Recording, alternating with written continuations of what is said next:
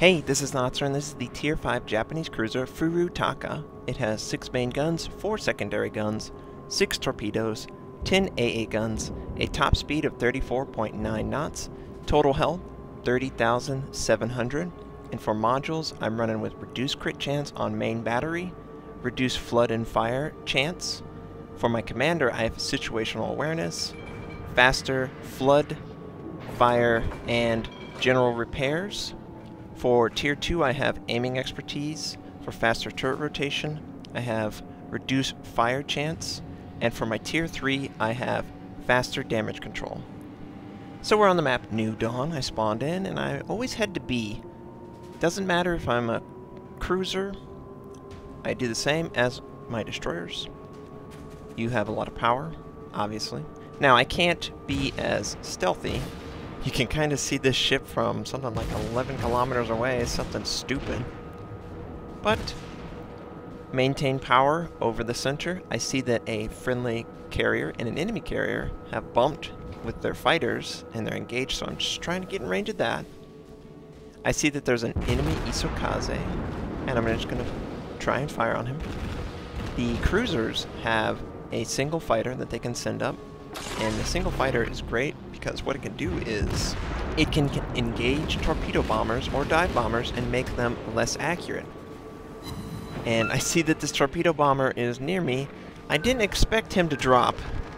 And by the time I'm able to maneuver, I get hit by one torpedo.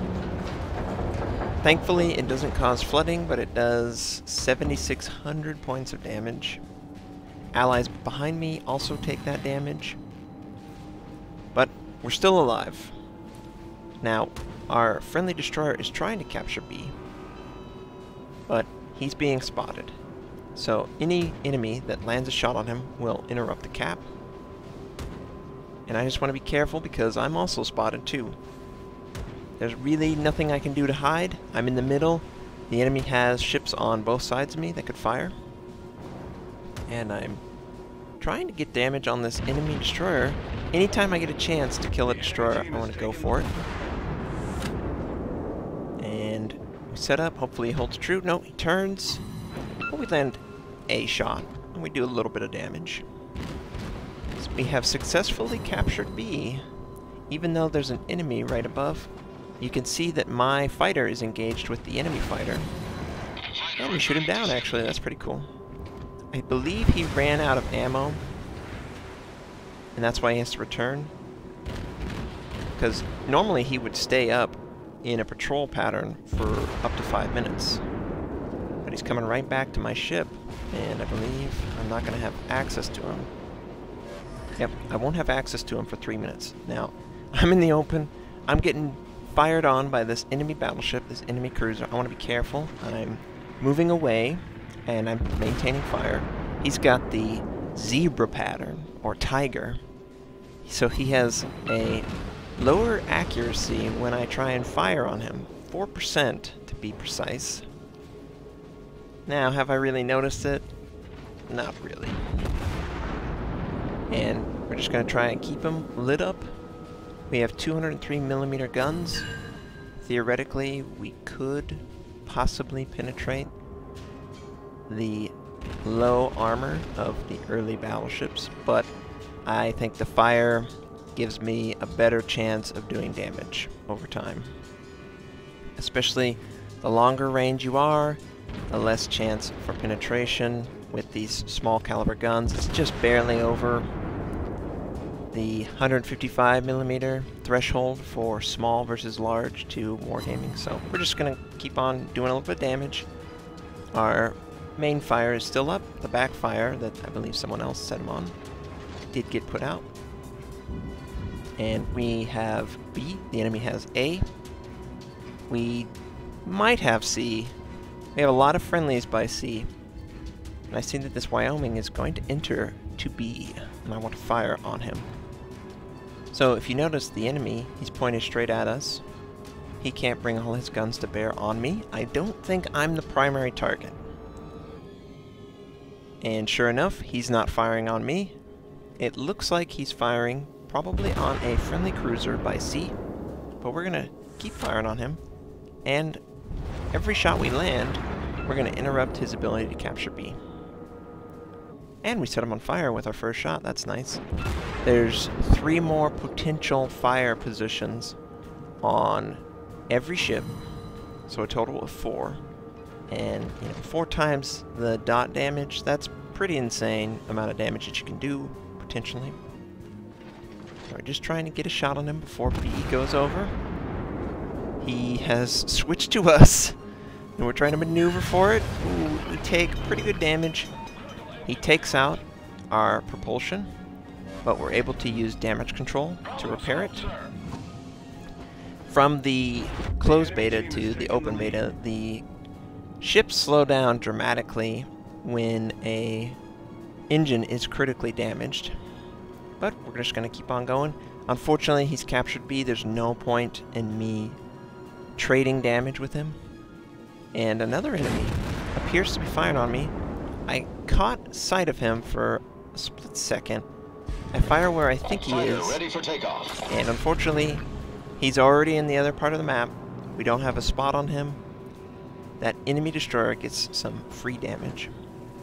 And at this point, I'm headed for my two carriers that seem to be on the southwest side of the map, basically where we spawned. The enemy has A and B, and they have what looks like six or seven ships headed towards this area of the map.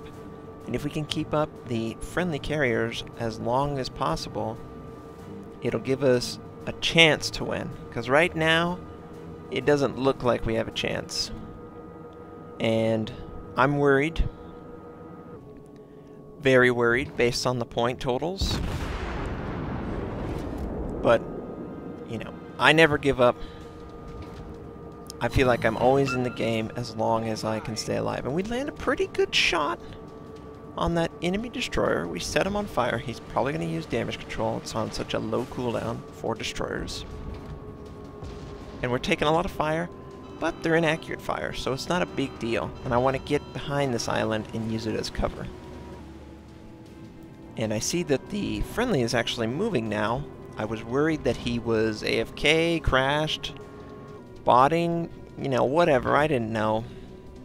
I was just frustrated that we were going to die and there was just going to be an AFK guy. But it looks like he's moving. Hopefully he can send out some support aircraft, maybe take down one enemy ship. And still taking fire, but they're missing, thankfully. And I really care about that destroyer. I don't really care about them right now. I want to stay out of their range. But we're okay right now. Oh, another enemy to complicate matters. I think we got the entire enemy team on this western flank, except for a carrier and two enemy ships. So we got a lot to deal with. We can't fight them straight up. We have to give ground. I see that this friendly carrier is leaving the safety of the island. Probably wouldn't recommend that. He's also moving pretty slow. I think he's using the automatic waypoint system. Tip for anyone who uses it, it will default you to half speed a lot of times on your carrier. You need to make sure you're going full speed in a situation where you're trying to run for your life. and my whole goal is to try and kill this enemy destroyer before he kills my carrier. And he sends out his torpedoes. We get a good shot. He's popping his smoke, and he's moving away. But I feel like he's holding steady, and we try and fire where we think he's going, and we miss. And from my point of view, this carrier is dead. Deader than dead. He's going to take four torpedoes. And there you go. There goes the ally carrier. And I can't afford to stay. I can't. I have to leave the area. I can't try and save everyone. I've basically given up on my other carrier in order to save my life and to give my team a chance to win. And I still want to kill this enemy destroyer. He's a huge threat. And cruisers counter destroyers pretty hardcore. And we send out a shot where we think he's going. And we land our shot where we thought he went. so we're able to somewhat bring it. Not quite what I'd like. We lost two carriers for their destroyer. I've got these battleships hounding me, this enemy cruiser on my butt. And I just need to keep moving away. I see that the enemy carrier and their torpedo planes are headed straight for me. I have my fighters up. Hopefully he can engage and slow him down, but I don't think he's engaging fast enough. The torpedo bombers are getting really close and I feel them dropping. And I'm using the edge of the map. This is slightly scumbaggy. the edge of the map will abruptly slow you down and I abruptly slow down so the torpedoes will hopefully come on. Yes okay we've cleared all the torpedoes. Nothing makes contact.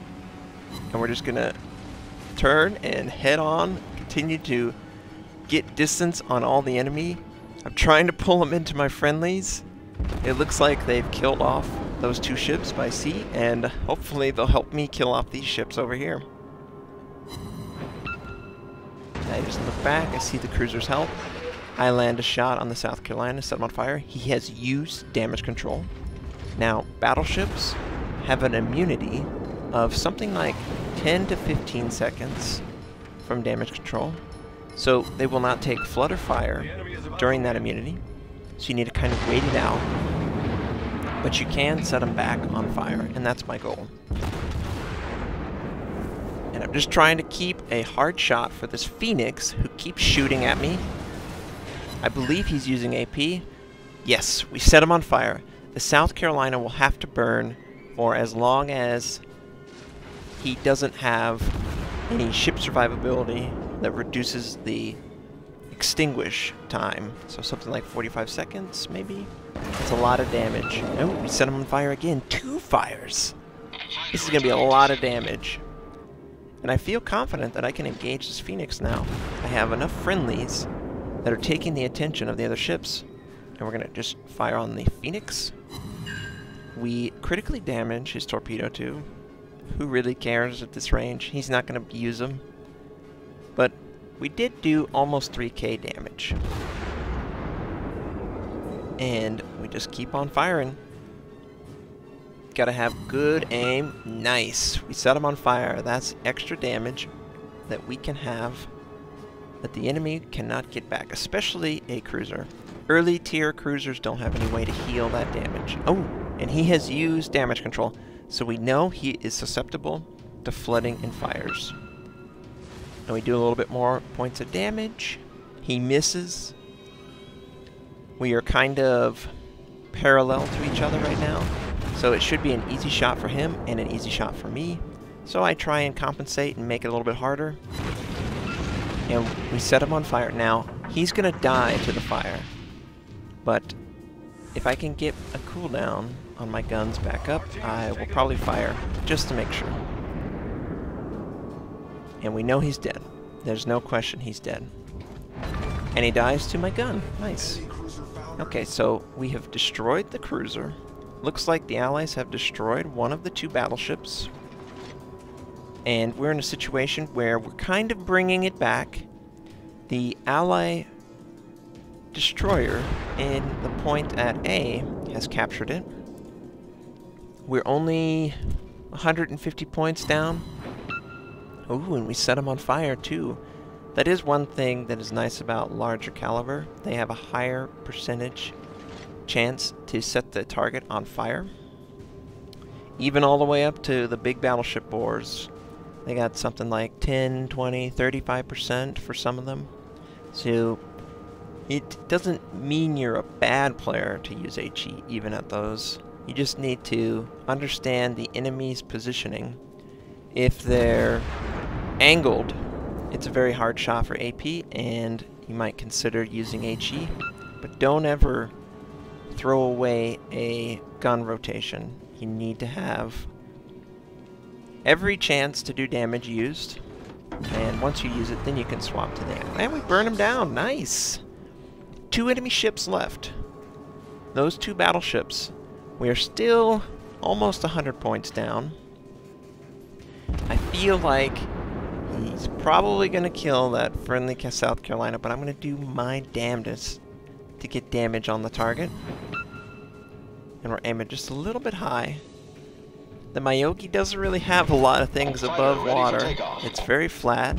It's very weird. And we got all these nice islands that we can use to hide in if they decide to change targets. Not that they will, but we're always planning ahead.